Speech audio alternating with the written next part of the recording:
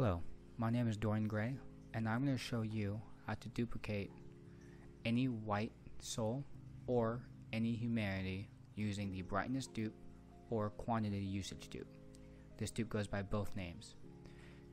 Alright, before I get started, I do want to credit that this dupe was first theorized by Kahmul and first shown to be able to do so by TKGP with use of a mouse and keyboard. But Ducksuals Speedrun was one of the first few to show that you could do this glitch with a controller. And this video is just to show that you can do it on the Nintendo Switch. So, getting started, we're going to do a few things. The first thing is we're going to locate which white soul or humanity that we want to do.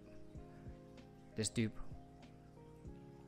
only works on white souls, not boss souls or humanity. Okay, so once you've located the white soul that you want to use, go ahead and change the order and put it at the top, like so.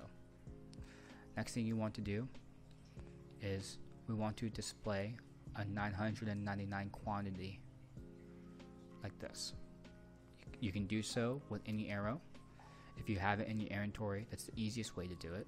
But if you don't have that in your inventory yet, you can talk to any merchant with arrows and display the 999 as well like that. We don't actually purchase it just close out the menu. Once you've displayed that number on your screen close out the menu and we're ready to do so. Now what we're going to do is we're essentially going to be pressing enter on the brightness screen while pressing the right bumper to the inventory screen in a manner that is quick enough to have both screens shown like this.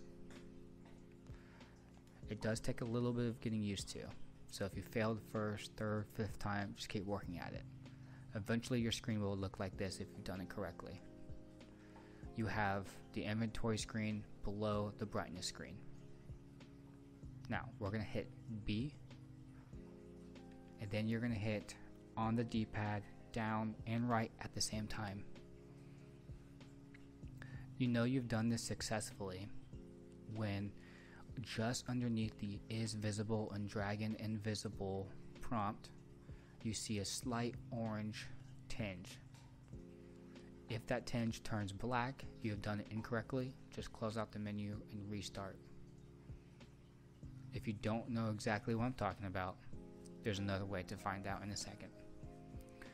From here, we're going to go to defaults, hit enter again. And then, as I said, in order to figure out if you've done it correctly, you'll have the use item prompt and you'll be able to display 999. If it says drop item, you've done it incorrectly and you'll need to close the menu and restart.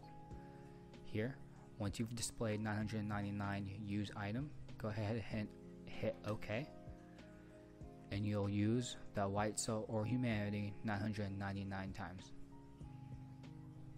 And that's exactly how to do this glitch. If you want to see how to pair this glitch with other glitches or check out other glitch videos that you can do on Nintendo Switch, check the description below. And we'll see you next time.